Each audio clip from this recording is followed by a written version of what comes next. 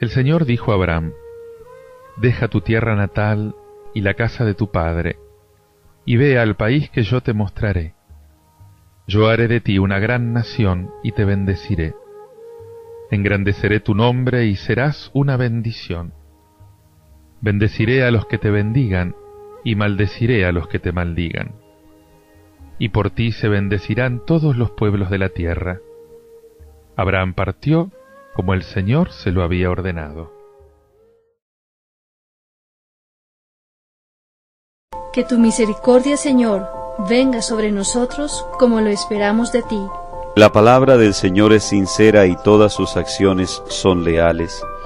Él ama la justicia y el derecho, y su misericordia llena la tierra. Que tu misericordia, Señor, venga sobre nosotros como lo esperamos de ti.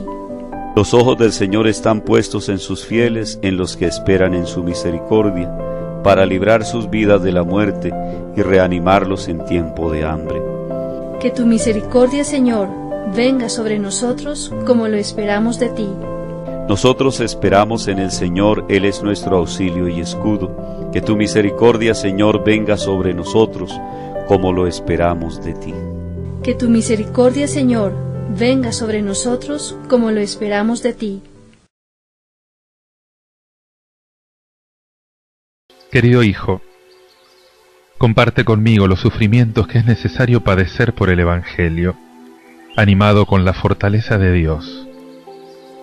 Él nos salvó y nos eligió con su santo llamado, no por nuestras obras, sino por su propia iniciativa y por la gracia, esa gracia que nos concedió en Cristo Jesús desde toda la eternidad y que ahora se ha revelado en la manifestación de nuestro Salvador Jesucristo. Por él destruyó la muerte e hizo brillar la vida incorruptible mediante la buena noticia.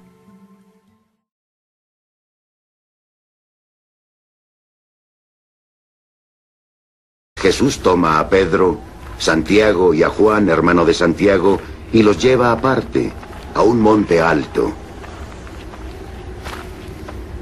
Y se transfiguró delante de ellos. Su rostro resplandeció como el sol, y sus vestidos se hicieron blancos como la luz.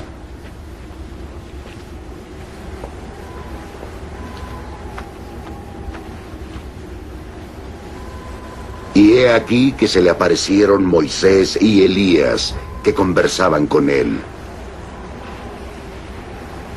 Pedro dijo a Jesús, Señor, bueno es estar aquí. Si quieres, levantaré tres tiendas. Una para ti, una para Moisés y una para Elías. Todavía estaba hablando cuando una nube luminosa los cubrió. De la nube salía una voz que decía, Este es mi hijo, a quien amo, en quien me complazco. Escuchadle.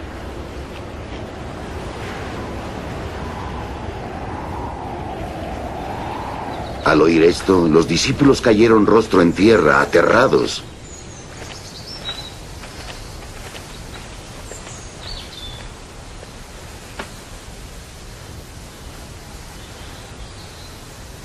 Acercándose, Jesús los tocó. Levantaos. Les dijo, No temáis. alzaron sus ojos y no vieron a nadie más que a Jesús.